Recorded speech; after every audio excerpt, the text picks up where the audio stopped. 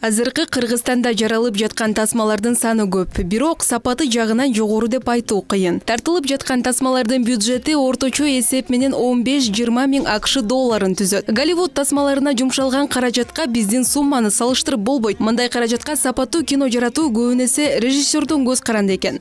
Мен мисалы дайыма ушул тасмалардын көп тартылышы тараптарымын да себеби ошол мисалы ким тартса дагы акырындап тартып ошол сандан сапатка өтөт мисалы эки миң он үчүнчү жылы жалпысынан жүз кино тартылган кыргызстандачы. Эки миң он төртүнчү жылы элүүгө жакын кино тартылды. Эки миң он беште жыйырма беш отуз чакты кино тартылды. Мындайча айтканда сандан сапатка өтүп баратат.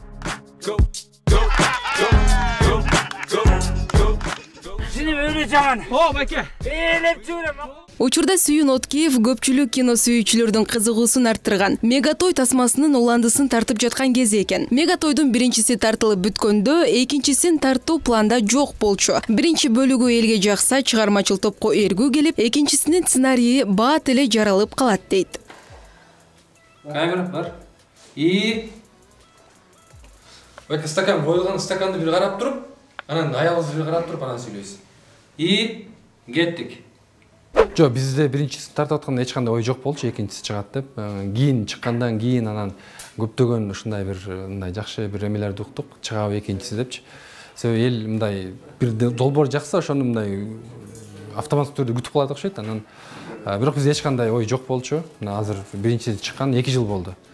Анан бизде ушул кокустан жакшы бир идея келип калды уланткангачы ошондон улам анан тарталы деп ушундай чечимге келдик көп маселе бар мисалы кээ бир режиссерлор бар эгер алардын каражаты толук мүмкүнчүлүк берсе анда алар профессионал актерлор менен актрисалар менен иштейт профессионалдар менен кээ бир режиссерлор бар каражат жетишпегендиктен төлөй албай айла жок башка жактан өтө мындай профессионал эместерди чакырып иштешет да ошонун баардыгы келип эле каражатка такалат да.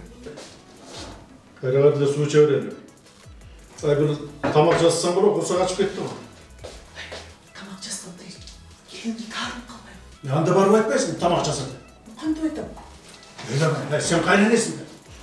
Бiri барып эле эмне жатасың тамак жаса деп айтпайсыңбы макрын бар кээде ошол кино өтсүн деп атактуу актерлорду чакырышы мүмкүн.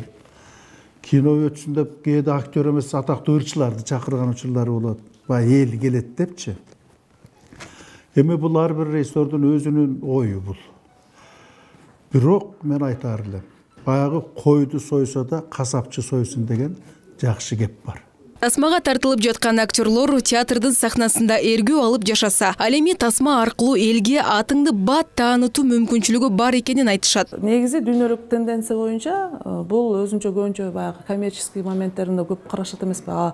Биз эми дүйнөнү коюп өзүбүздүн кыргызстандын чөлкөмүндө болуп жаткан өзүбүздүн мамлекеттин ичинде болуп жаткан жагдайды карап келгенде мисалы үчүн кино өзүнүн бир кандайдыр бир нугуна кирип кетип атат да мындайча айтканда ар кандай тармакта болуп атат да мисалы үчүн жаштар өзүнүн баягы көз карашына байланыштуу кыска метраждуу баягы фильмдердин өлкөсү болуп атабыз тарта берсин аракет кылыш керек.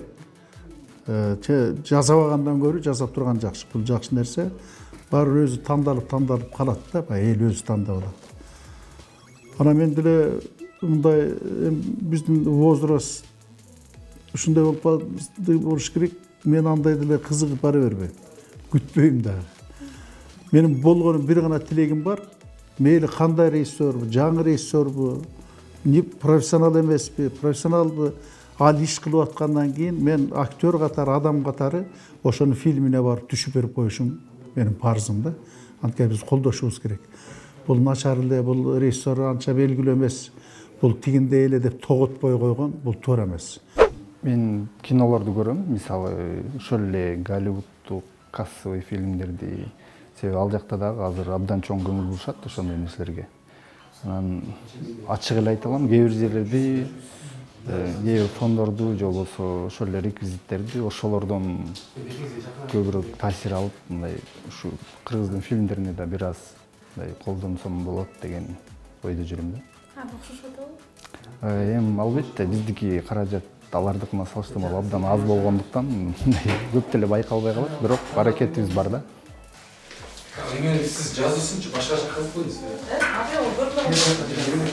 туура эле көрүнүш себеби бизде азыр техника ушунчалык жакшы өнүктү мисалы экиден үчтөн камерамен тартылып атат ал эгер жакшы даярдык боло турган болсо бир тасма мисалы төрт жумадан сегиз жумага чейин тартылат даже голливудда төрт жумадан сегиз жумага чейин тартылат азыркы тасмалар менен илгерки кыргыздын кереметтерин салыштырып болбойт деп айтып калабыз. Анткен менен азыркы жума сайын жаңы кинонун жаралып жатканы заман талабыбы же бизнеспи аны кино жаратуучулар жакшы билишет. Айжан романбет кызы алтынбек сакиев нью тв таң маанай программасы үчүн.